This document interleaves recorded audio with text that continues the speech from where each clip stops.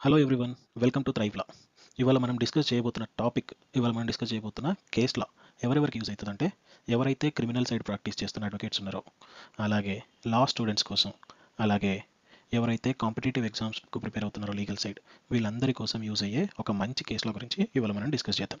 So అదేంటంటే Mamata Shailesh Chandra versus state of Uttarakhand and others so ఈ కేసులో అనేది ఎప్పుడు వచ్చింది ఎవరు ఇచ్చారు జడ్జిమెంట్ అంటే Supreme Court January twenty ninth of this year twenty twenty ఫోర్లో ఇచ్చిన జడ్జిమెంట్ ఇది. సో దీని ప్రకారం మనం తెలుసుకోబోయే ముందు దీని ప్రకారం మనం తెలుసుకోబోయే ముందు మనం ఒక చిన్న ఇన్ఫర్మేషన్ అనేది తెలుసుకుందాం. ఆల్రెడీ ఇది మనందరికీ తెలిసిందే బట్ స్టిల్ మళ్ళీ ఒకసారి అనేది చూద్దాం. ఏంటంటే కంప్లైంట్ దగ్గర నుంచి ట్రయల్ వరకు క్రిమినల్ కేసెస్లో ప్రొసీజర్ అనేది ఎట్లుంటుంది? ప్రొసీజర్ అన్నాం కదా? ఆ ప్రొసీజర్ అంటే దేని ప్రకారం ఉంటుంది? సిఆర్పిసి ప్రకారం ఉంటుంది. క్రిమినల్ ప్రొసీజర్ కోడ్ సో ఎట్లుంటుంది అనేది మనం ఒకసారి చూద్దాం.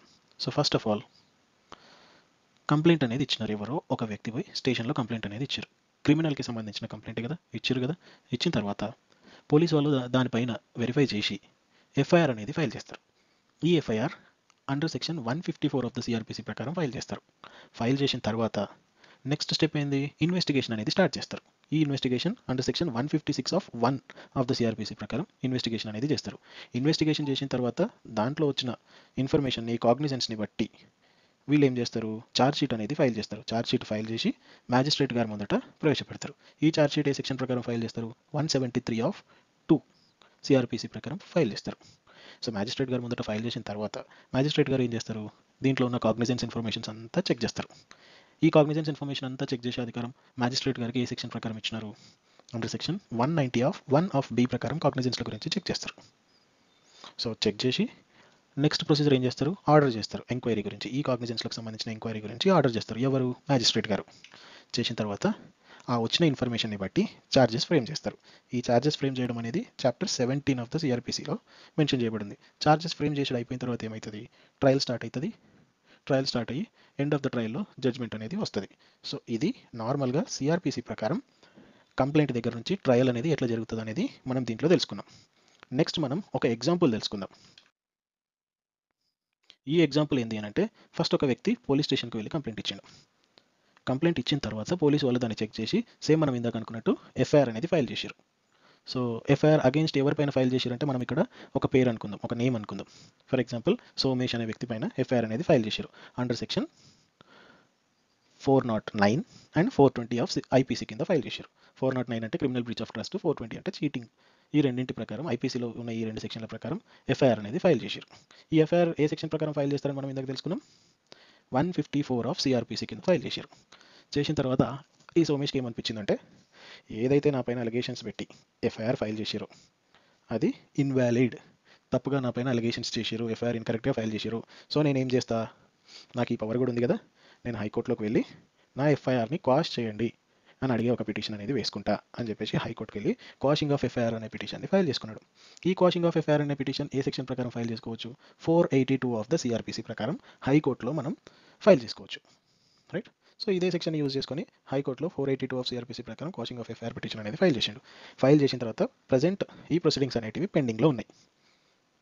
This is the other side of the case so first side of the case ఏంది? కంప్లైంట్ చేసిన తర్వాత ఎఫ్ఐఆర్ ఫైల్ చేశారు కదా?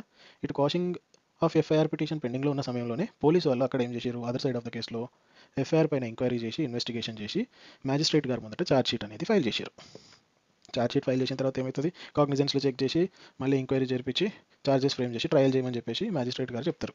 సో ఇదే ఆడ జరుగుతుంది.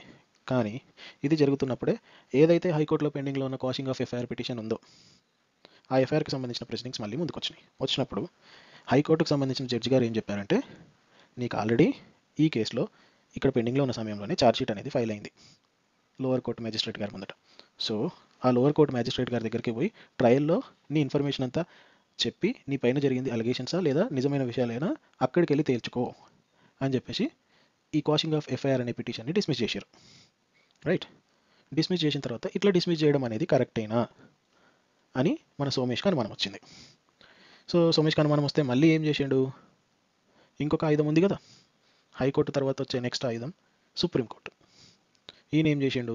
ఏదైతే హైకోర్టు ఇచ్చిన ఆర్డర్ కాపీ ఉంటుందో డిస్మిస్ చేసిన ఆర్డర్ కాపీ ఆ ఆర్డర్ కాపీని తీసుకొని సుప్రీంకోర్టులో అపీల్ చేసిండు. రిట్ పిటిషన్ ఫైల్ చేసి అప్పీల్ చేసిండు. ఈ రిట్ పిటిషన్ని వాదోపవాదాలు జరిగి దానికి సంబంధించిన ఇన్ఫర్మేషన్ అంతా చెక్ చేసిన తర్వాత సుప్రీంకోర్టు ఏం చెప్పింది అని అంటే ఎప్పుడైతే ఎఫ్ఐఆర్ అనేది ఫైల్ అయిన తర్వాత ఏ వ్యక్తి అయినా కూడా quashing of FIR petition under section four eighty two of the CRPC కింద హైకోర్టులో ఫైల్ చేస్తారో. ఫైల్ చేసిన తర్వాత అది పెండింగ్లో ఉన్నప్పుడు if in case charge sheet file అయినా కూడా మెజిస్ట్రేట్ గారి ముందు ఛార్జ్ షీట్ ఫైల్ అయినా కూడా హైకోర్టుకు ఇన్హెరెంట్ పవర్స్ అనేటివి ఉంటాయి. ఈ ఇన్హెరెంట్ పవర్స్ని యూజ్ చేసుకొని ఆ కాషింగ్ ఆఫ్ ఎఫ్ఐఆర్ అనే పిటిషన్ని ఎగ్జామిన్ చేసే అధికారం హైకోర్టుకు ఉంది. సో ఎగ్జామిన్ చేసి నిజాలు అబద్ధాలు ఏవైతే తెలుసుకొని ఇఫ్ ఇన్ కేస్ నిజంగానే అలిగేషన్స్ అనేటివి ఉన్నాయని తెలిస్తే ఆ ఎఫ్ఐఆర్ని కాస్ట్ చేసే అధికారం హైకోర్టుకు ఉంది.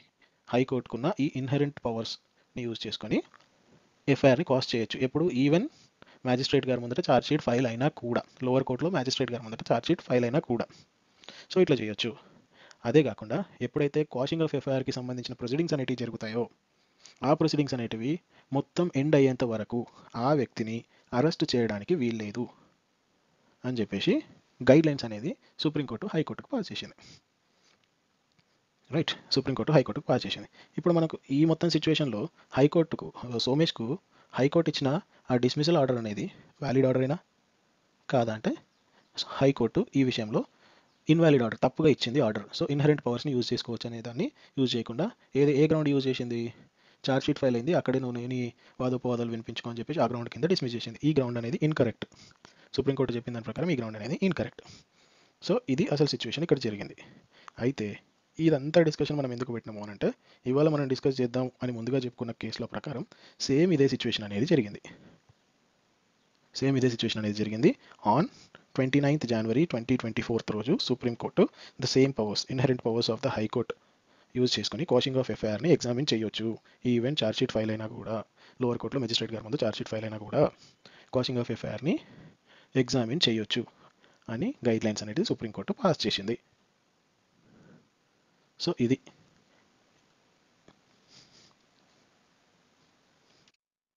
వీడియోని పూర్తిగా చూసినందుకు ప్రతి ఒక్కరికి నా తరపు నుండి ధన్యవాదాలు. అలాగే ఈ వీడియో కనుక మీకు నచ్చినట్టయితే లైక్ చేయండి. మన థ్రైవ్ లా ఛానల్ని సబ్స్క్రైబ్ చేసుకోండి. సో ఈ కేస్ లాకి సంబంధించిన డాక్యుమెంట్ని డిస్క్రిప్షన్లో లింక్ రూపంగా పొందుపరుస్తున్నాను. సో కావాలనుకున్న వాళ్ళు డౌన్లోడ్ చేసి ఒకసారి చెక్ చేసుకోండి.